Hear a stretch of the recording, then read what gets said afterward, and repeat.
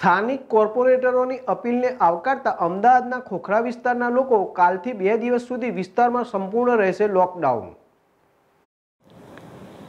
અમદાવાદમાં ખોખરા વેપારીઓએ સ્થાનિક ચેતન કોર્પોરેટરની અપીલને લઈને આવતીકાલથી બે દિવસ શનિવાર તેમજ રવિવાર સંપૂર્ણ બંધ પાડીને કોરોનાની ચેન તોડવાનો પ્રયાસ કરાશે.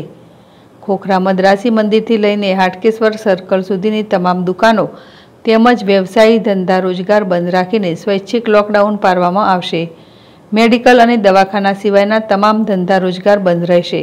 તેવી ખાતરી વેપારી અગ્રણીઓએ સ્થાનિક કોર્પોરેટર ચેતન પરમાર સાથેની અગત્યની બેઠકમાં નિર્ણય લેવામાં આવ્યો છે.